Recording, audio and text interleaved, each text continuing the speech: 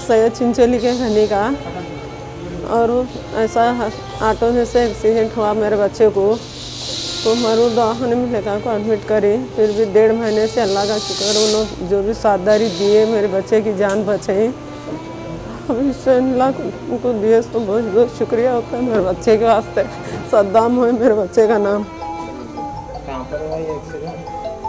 ये कुरकटा कुरकटे पे हुए। मेरे को दवाखाने वाले भी साथ दारी दिए मेरे और यहाँ से भी हमें ले जाकर बसे दवा दवाखाने में एडमिट करे थे।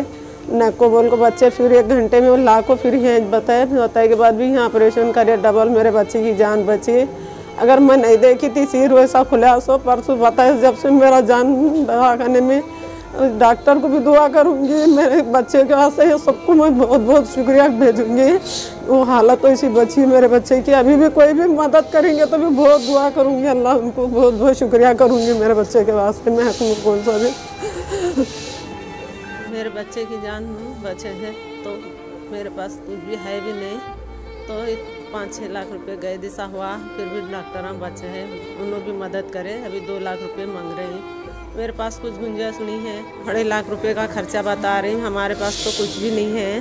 उसके वास्ते सब भी आप लोग का मदद करो। मेरे बच्चे की जान बचाओ। शुक्रिया भेजूँगी, दुआ करूँगी आप लोगों को। मेरी एसी में है डेढ़ महीने से। तो अभी भी खर्चा आता बोल रहे हैं। तो सब भी मदद करो। सबको अस्सलाम वालेकुम। मेरे शोहर का एक्सीडेंट हुआ है ऑटो में से। मेरे दो बच्चे हैं। एक बेटी, एक बेटा है। एक दो साल का एक बच्चा एक नौ महीने की है। हमारे को कर को खाए तक हम आपको इसका रोज़ कर को खाते हैं। कोई तो हेल्प करो, हमारी मदद करो। बस हमारा आदमी ठीक, दुआ करो हमारे आदमी के यहाँ से।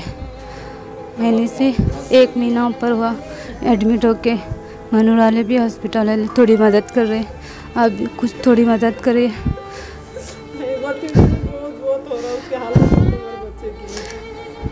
बस आप ही कुछ मदद करिए हमारे हमारे गरीब आए हम बहुत, हमारे को खेत नहीं, कुछ नहीं।